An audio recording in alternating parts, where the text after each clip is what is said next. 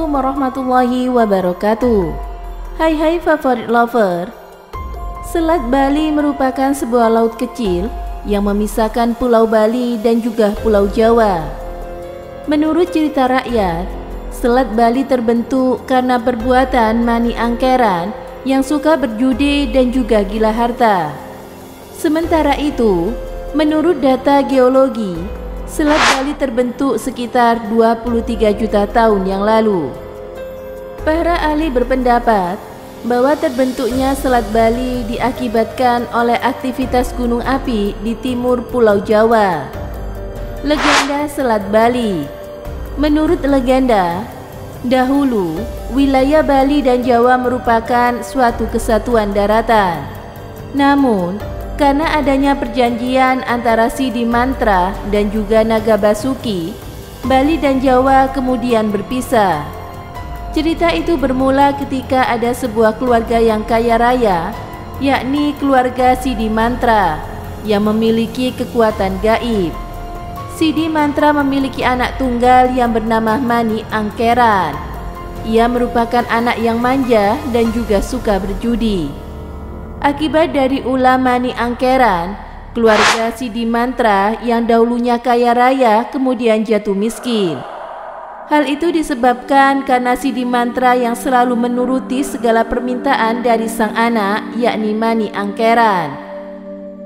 Karena jatuh miskin, Sidi Mantra kemudian pergi ke Gunung Agung untuk menemui Naga Basuki yang memiliki kekuatan gaib. Naga Basuki itu pun mampu memberikan perhiasan kepada mereka yang berdoa dengan benar. Setelah sampai di Gunung Agung, Sidi Mantra lalu membunyikan lonceng yang ada di bawahnya seraya memanjatkan doa. Tak lama kemudian, keluarlah berbagai perhiasan dari Naga Basuki. Sidi Mantra kemudian membawa pulang berbagai perhiasan tersebut. Sesampainya di rumah, Berbagai perhiasan tersebut kemudian diberikan kepada anaknya. Ia juga meminta anaknya berhenti untuk berjudi. Awalnya, Manik menyanggupi permintaan dari sang ayah. Namun ia kemudian melanggar janjinya dengan menghabiskan seluruh perhiasan untuk berjudi.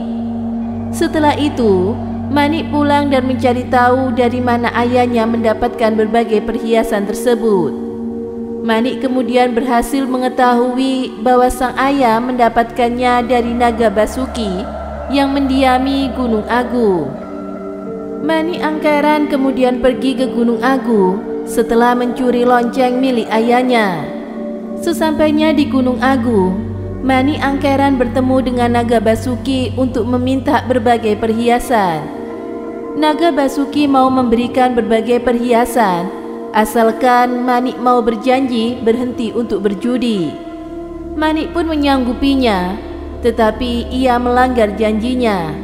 Manik justru bersifat tamak dan terus menguasai hartanya.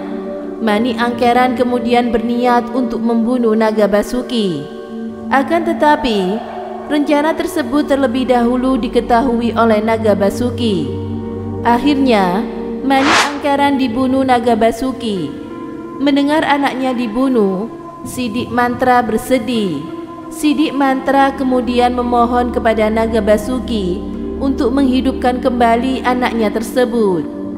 Naga Basuki yang melihat permintaan Sidik Mantra kemudian menyanggupinya untuk menghidupkan kembali Mani Angkeran. Namun, Naga Basuki memberikan syarat supaya Sidi Mantra dan juga Mani Angkeran tinggal di tempat yang berbeda. Sidi Mantra setuju.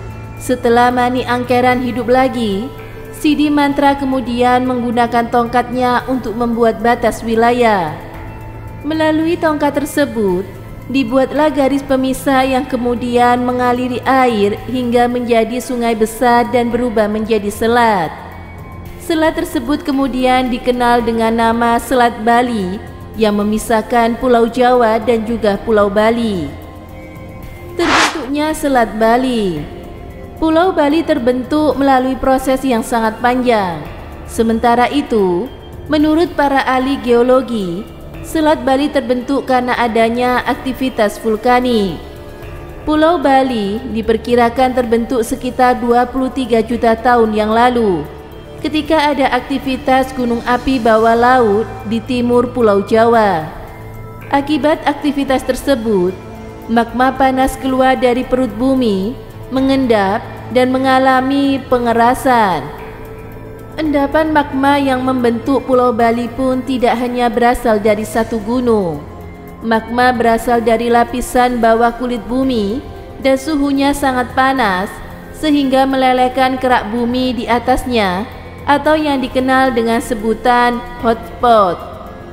Selain itu, Pulau Bali juga dibentuk dari hasil endapan bawah laut yang diduga berasal dari erosi bebatuan di Pulau Jawa bagian timur. Hasil aktivitas bumi selama beberapa waktu akhirnya membentuk daratan yang kini dikenal sebagai Pulau Bali. Nah, favorit lover, itulah legenda tentang asal mula Selat Bali. Semoga bermanfaat. Thank you for watching. See you bye bye. Wassalamualaikum warahmatullahi wabarakatuh.